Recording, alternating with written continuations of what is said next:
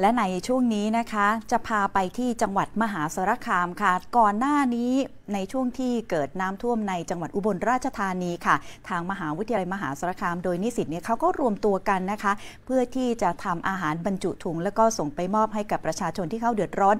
มาในปีนี้ค่ะเขาก็รวมตัวกันอีกครั้งหนึ่งโดยคณะเภสัชศาสตร์ค่ะ เพื่อที่จะผลิตยาในการรักษาน้ำกัดเท้าไปแจกค่ะ ครับการไปแจกครั้งนี้คุณผู้ชมต้องอาศัยแรงกาย แล้วก็แรงใจจากทั้งนักศึกษาที่เป็นจิตอาสามาช่วยกันรวมถึงคณาจารย์ด้วยเพราะว่าจำนวนของยาน้ำกัดเท้านะครับ ที่จะเอาไปแก้เนี่ยมีเป็นพันๆตลับต้องรีบเร่งผลิตให้ทัน แล้วก็รีบกระจายไปด้วยครับ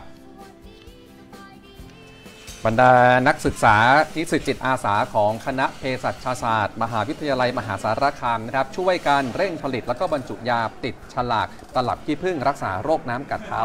ยอดตอนนี้ต้องทำทั้งหมดสักประมาณ 4,000 ตลับนะครับคุณผู้ชมเตรียมส่งมอบให้กับหน่วยงานในพื้นที่เขาจะไปออกหน่วยเพื่อนำไปแจกจ่ายต่ออีกทอดหนึ่ง ในพื้นที่รอบมหาวิทยาลัยมหาสารคามด้วย แล้วก็ในจังหวัดด้วยครับเพราะตอนนี้พื้นที่จังหวัดนะครับคุณผู้ชมปัญหาน้ำท่วมยังคงมีอยู่ ชาวบ้านต้องเดินลุยน้ำกันไป แน่นอนว่าแต่ละวันนะครับ เปียกน้ำกันทั้งวันแบบนี้ โรคน้ำกัดเท้าก็เลยตามมาด้วยงานนี้ทำกันที่ห้องปฏิบัติการเทคโนโลยีเภสัชกรรมนะครับ อาจารย์ก็มาช่วยนักศึกษาก็มาช่วยเพราะว่าต้องเร่งผลิตจำนวนมากอย่างที่เห็นเลยครับ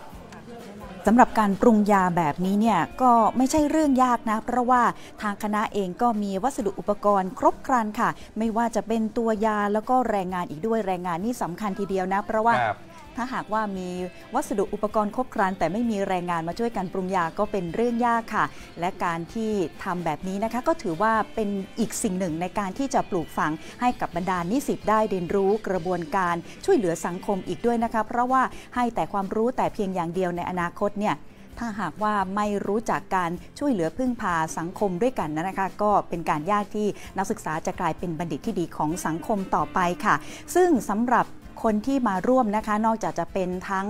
คนในคณะเภสัชศาสตร์แล้วนะคะ ก็ยังมีหลายคนค่ะที่เป็นจิตอาสามาร่วมกันผลิตนะคะ แล้วก็นำไปแจกหมดโดยจะนำไปมอบให้กับทางคณะกู้ภัย และก็หน่วยงานที่มีหน้าที่ในการช่วยเหลือผู้ประสบภัยนำไปกระจายในพื้นที่ต่อไปค่ะ ไม่ได้มีโอกาสเข้ามาทันทีทีนี้ก็พอมีเวลาว่างปุ๊บเห็นโอกาสปั๊บก็เลยเข้ามาครับ ก็ ถ้าถามว่าได้ทำอะไรบ้างนะครับ วันนี้ก็รับรับบทเป็นหนุ่มหนุ่มกวนนะครับผมเป็นคนหม้อนะฮะผมก็คนไม่หยุดเลยตั้งแต่ช่วงเที่ยงที่ผ่านมานะครับ จริงๆแล้วเป้าหมายของเราคือเราอยากจะ